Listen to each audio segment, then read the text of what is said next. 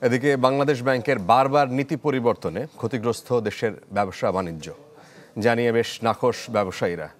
কেন্দ্রীয় ব্যাংকের গভর্নরের সাথে বৈঠক হয়েছে এফবিসিসিআই সভাপতি, সেখানে কথাও বলেছেন। সেখানে তিনি বলেছেন যে, এতদিন ডলারের বিনিময় হারে যে ক্ষতি তাদের হয়েছে, ব্যবসায়ীদের হয়েছে, তার সমপরিমাণ অর্থের দীর্ঘমেয়াদী ঋণ চান তারা।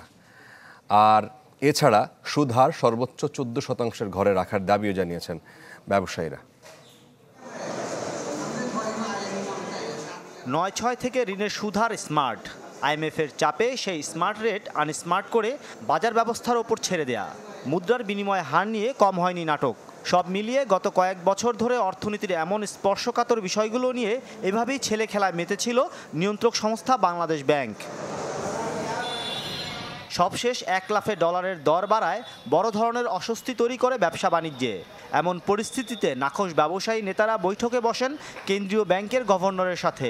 প্রায় দুই ঘণ্টা বৈঠক শেষে ব্যবসায়ী নেতারা জানান, বাংলাদেশ ব্যাংকের বারবার নীতি পরিবর্তনে চরম ক্ষতিগ্রস্ত হচ্ছে ব্যবসায়ীরা। লং টার্ম তো একটা প্রবলেম হয়। কারণ আমি ইন্টারেস্ট রেট হিসাব করলাম যে আমি নাইন পার্সেন্ট বা টেন পার্সেন্ট এখন তো চোদ্দ পার্সেন্ট দিতে হয়, তাহলে তো আমার কস্টিংটাই মিলে না, ঠিক না?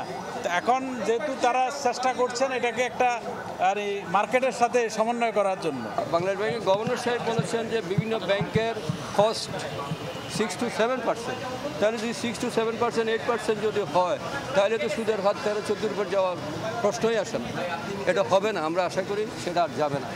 ব্যবসায়ীদের অভিযোগ কেন্দ্রীয় ব্যাংকের ভুল নীতির কারণে ডলারের পেছনে বাড়তি টাকার মাসুল গুনতে হয়েছে তাদের যার বিপরীতে দীর্ঘমেয়াদী ঋণ চান ব্যবসায়ীরা।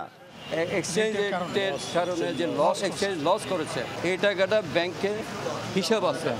লং টার্ম একটা লোন দিয়ে তাদের লং টার্ম একটা পলিসি দিয়ে তাদেরকে যেন এই সমাধান। করা যায় যেটা এছাড়া ব্যাংক খাতের দুর্বলতা ব্যবসায়ীদের আতঙ্কিত করছে বলেও মন্তব্য তাদের।